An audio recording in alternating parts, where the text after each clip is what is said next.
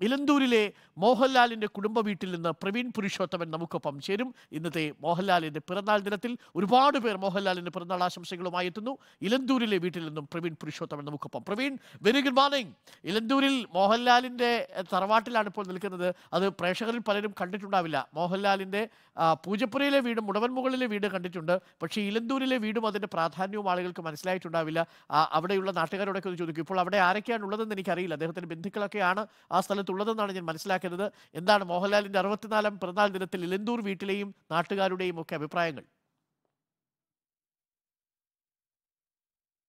Very good morning Arun മലയാളത്തിന്റെ മഹാനടൻ മോഹൻലാൽ ജനിച്ച വീട്ടിലാണ് ഞാനുള്ളത്. പത്തനംതിട്ട ഇലന്തൂരിലാണ് ഏറെ പഴമയുള്ള ഈ വീടുള്ളത്. ദൃശ്യത്തിൽ ഇപ്പോൾ നമുക്ക് കാണാൻ കഴിയും. പുന്നയ്ക്കൽ തറവാട്.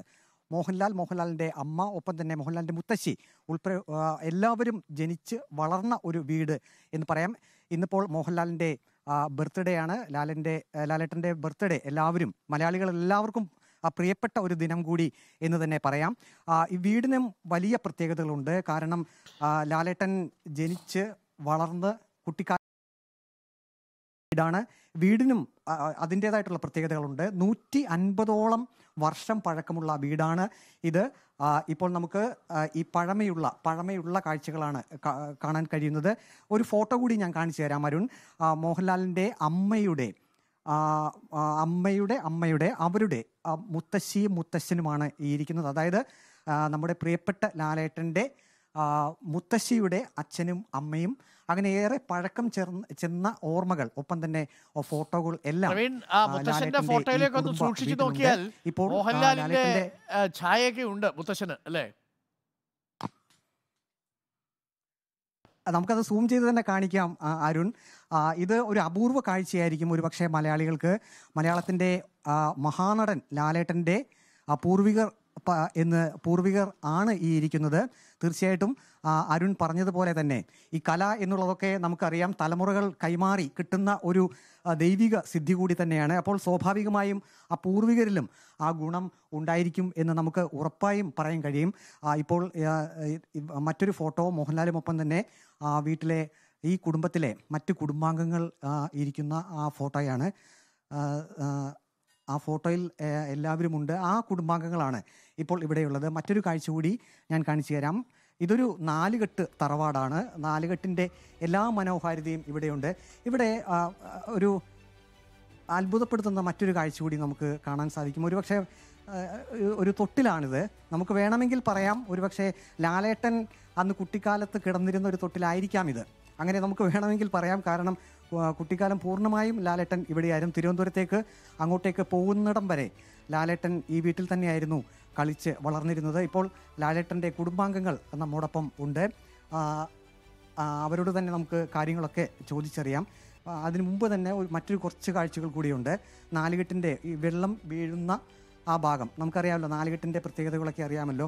ഇവിടെയെല്ലാം പഴമയുള്ള കാഴ്ചകൾ തന്നെയാണ്. ഈ വീട് പഴമയുണ്ടെങ്കിൽ പോലും അതിന്റെ പുനരുദ്ധാരണവും ഒപ്പം തന്നെ അത് പുതുമയോടുകൂടി നിലനിർത്തുന്നതിൽ മോഹൻലാൽ എപ്പോഴും ശ്രദ്ധിച്ചിരുന്നു. ഈ വീടിനടുത്ത് തന്നെ ഒരു കാവുണ്ട് അരുൺ. ആ കാവിലേക്ക് ലാലേട്ടൻ അടുത്തിടെ വന്നു എന്നാണ് കുടുംബാംഗങ്ങൾ പറയുന്നത്. അവിടെ പ്രത്യേക പൂജകളും കാര്യങ്ങളും ഒക്കെയുണ്ട്. മറ്റ് കുടുംബാംഗങ്ങളുടെ ഫോട്ടോ എല്ലാം നമുക്ക് ഇവിടെ കാണാൻ കഴിയും. ഇത്തരത്തിൽ വളരെ മനോഹരമായിട്ടുള്ള ലാലേട്ടന്റെ ഓർമ്മകൾ എപ്പോഴും കുട്ടിക്കാലത്തെ ഓർമ്മകൾ എപ്പോഴും നിലനിൽക്കുന്ന ഒരു തറവാട് എന്ന് തന്നെ പറയാം. എല്ലാ കാഴ്ചകളും ഇവിടെ നമുക്ക് വിശദമായിട്ട് ഇപ്പം മഴ ചാറുന്നുണ്ട്. പത്തനംതിട്ടയിൽ ഇപ്പോൾ മഴ ചാറുന്നുണ്ട്. നാല് കെട്ടാണ്. ഇവിടെയാണ് ഇവിടെ ഇപ്പോ പ്രവീൺ ആരാ? താമസിക്കുന്നത് ഈ വീട്ടിൽ? നാലുകെട്ടിന്റെ ആ ഒരു ചാരുത. ആ ഇവിടെ ഇവർ ഇവിടെ താമസിക്കുന്നത് മോഹൻലാലിന്റെ കസിൻ സിസ്റ്റർ എന്ന് പറയാം സഹോദരിയാണുള്ളത്. അവർ ഇവിടെ ഈ വീട് ഇവിടെ ഉള്ളതുകൊണ്ട് തന്നെ അവരിപ്പോൾ അവരുടെ ഭർത്താവിന്റെ കൂടെ മറ്റൊരു സ്ഥലത്താണ് താമസിക്കുന്നത്. ഇതുപോലുള്ള അപൂർവ സന്ദർഭങ്ങളിൽ ലാലേട്ടന്റെ പിറന്നാൾ അങ്ങനെയുള്ള സന്ദർഭങ്ങളിലെല്ലാം ഈ കാവിലെ ഉത്സവമൊക്കെ ഉണ്ട് അങ്ങനെയുള്ള സന്ദർഭങ്ങളിലെല്ലാം ലാലേട്ടൻ ഇങ്ങോട്ടേക്ക് വരാറുണ്ട്.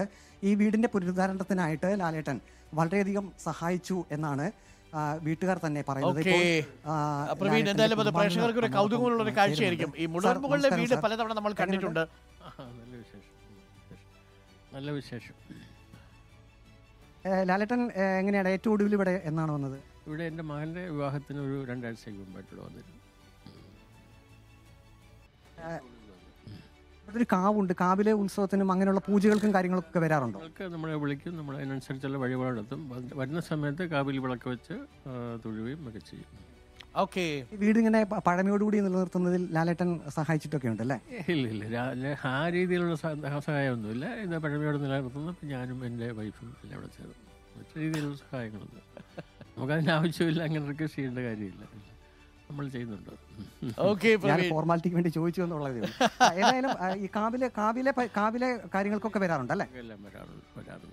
Thank you thank you Praveen. ഏതായാലും ആ ഇലന്തൂരിലെ കാഴ്ചയാണ്. ഇവിടെയാണ് മോഹൻലാലിന്റെ ബാല്യകാലം ചെലവിട്ടത്. മുടവൻ മുകളിലെ വീടൊക്കെ പ്രേക്ഷകർക്ക് പരിചിതമായിരിക്കും. മോഹൻലാലിന്റെ ആ അച്ഛനും മോഹൻലാലിന്റെ അമ്മയും ഒക്കെ ഏറെക്കാലം ജീവിച്ചിരുന്ന മോഹൻലാലിന്റെ അച്ഛൻ അവിടെ സെക്രട്ടേറിയറ്റിലായിരുന്നു പണിയെടുത്തിരുന്നത്.